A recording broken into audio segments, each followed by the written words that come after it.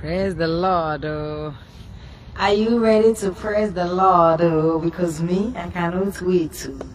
Wait, let me just make sure that all the volumes are working. Praise the Lord. Thank you, Jesus. Thank you for waking us up again, for allowing us to be part of the living. That's why we are going to thank the Lord. My brothers and sisters, arise and shine. Blessed day. I greet all of you in the name of the Father, the Son, and of the Holy Spirit, in the name of Jesus Christ, the Son of the living God. I pray that you are all well and that God has been gracious and faithful to each and every one of you. Me, He has been faithful, gracious, and good. Bring my boys to school this morning. Papa Rockefeller is sleeping in late because he had a little migraine in the morning. I said, let me go outside and praise the Lord. You hear it? Yes, my brothers and sisters. So we are going to praise God. I pray you are ready to worship Him this morning, to give Him all the glory, to give Him all the honor, to magnify Him, to exalt Him, and to thank Him for who He is, for all He does, and for how amazing He is. And I know that we have a lot of things we are dealing with, but let me tell you, we have to be grateful and thankful to God because we are still part of the living. He has a purpose and a plan. And tomorrow is my birthday, so I'm just waiting. I'm just going to praise the Lord for His adding another year in my life, for His will and His purpose for my life. Now, the only thing I can give now praise and worship.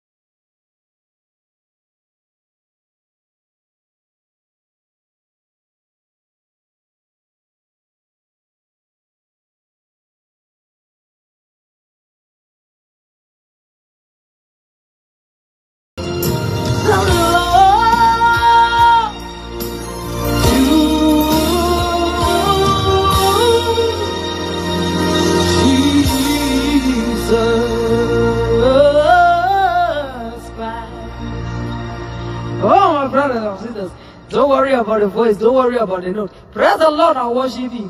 When I was in the world, we worried about how we can compose a song well, well. When you praise for the Lord, we not even have to think if it's high key or smoky, if it's off key or right key. Praise Him in spirit and in truth. Ha, He said for those who praise Him in spirit and in truth. Isha ukomo, and He blames on over them. Let me carry the go. Ah,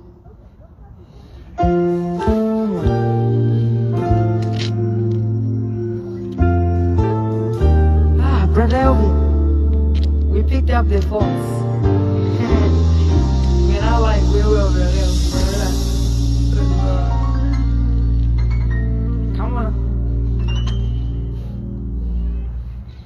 Lord, if I find favor in your sight, oh Lord,